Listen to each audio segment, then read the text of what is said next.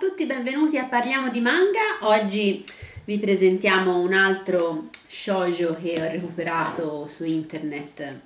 eh, di recente, è abbastanza recente questo, si chiama Dolce Primo Amore di Ai Minase, è uscito in Italia negli anni 2015-2016, sì che è appunto uno shoujo piuttosto recente. E, ehm, dunque, di cosa parla? Parla di due amici di infanzia, Koharu e Natsuki, che ehm, sono proprio amici di infanzia nel vero senso della parola. Loro praticamente sono vicini di casa, eh, sono sempre stati vicini di casa, hanno sempre giocato insieme, hanno la stessa quasi identica età e ehm, hanno sempre vissuto addirittura le, le loro stanze, vediamo se, se trovo la, la, le loro stanze ehm, sono una da, di fronte all'altra e eh, addirittura passando dalle terrazze riescono ad andare l'uno nella, nella camera dell'altra. Infatti, ecco, queste sono loro, le, loro due case. Le famiglie sono ehm, amiche tra, tra, di loro, quindi insomma, diciamo amici di infanzia che più amici non si può. Ehm, però che succede? Loro arrivano a ehm, al liceo, al, alle superiori, prima superiore, che ehm, pensano di essere semplicemente migliori amici, cioè se lo dicano proprio. Cioè, se tutto il resto delle, eh, delle loro amicizie, insomma, li, li vede già insieme, e eh, quindi diciamo tutto il mondo esterno è più malizioso di loro, loro pensano sempre ingenuamente di essere eh, migliori amici eh, e questo va avanti per, eh, per, qualche numero, in cui si vede l'evoluzione, eh, diciamo, da, da, questo rapporto di, eh, di, grande amicizia, quasi come se fossero quasi fratelli, le copertine sono molto belline, ehm, a, eh, a, capire di essere innamorati. E diciamo questo mh, lo si capisce subito, cioè diciamo eh, non, una, non, ci sono vere sorprese in questo manga, si capisce subito, fin si sa subito fin dall'inizio che loro sono innamorati, eh, che finiranno insieme e, mm, e che anche che, come, come, andrà a finire poi, cioè si sa subito come andrà a finire. La cosa bellina è, è vedere l'evoluzione di questo, di questo mm, primo amore, di questo primo amore che poi sarà appunto un grande amore, ehm, che, ehm,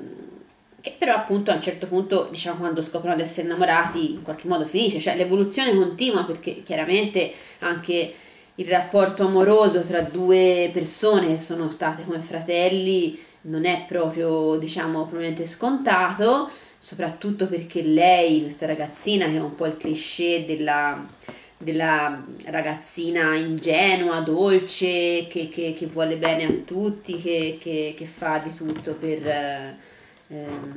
per, il bene di quell'altro, insomma, eh, è, è, talmente ingenua che appunto mh, mm,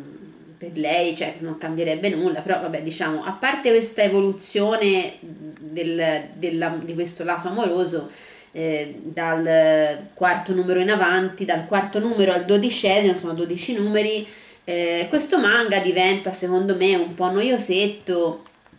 perché magari si concentra un po' sui personaggi, eh, sui comprimari, sui, sugli altri, sui loro amici, sugli, sugli amori dei loro amici, oppure magari su varie vicende familiari che però vengono sempre tutte trattate con scarsa drammaticità, cioè sempre con una certa leggerezza, infatti è sempre tutto una felicità, come sono felice, questa è la felicità, la felicità, la felicità. E qui diciamo risulta una narrazione un po' piatta perché alla fine succedono cose di poco conto. Ehm,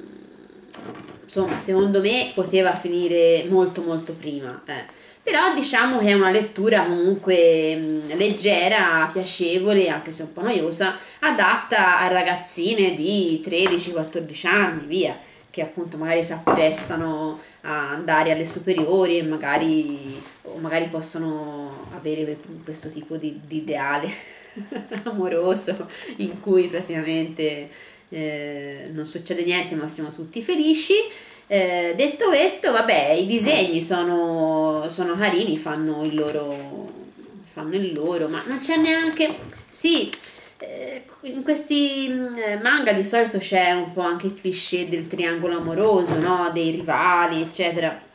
Un po' c'è anche qui, però è talmente sviluppato poco, cioè questi due si amano talmente tanto da sempre e per sempre che alla fine cioè, risulta anche abbastanza cioè, patetico anche il tentativo di chiunque di, di, di dividerli, insomma, no? Comunque sì, i disegni sono abbastanza carini, fanno il loro, il loro, diciamo, il loro dovere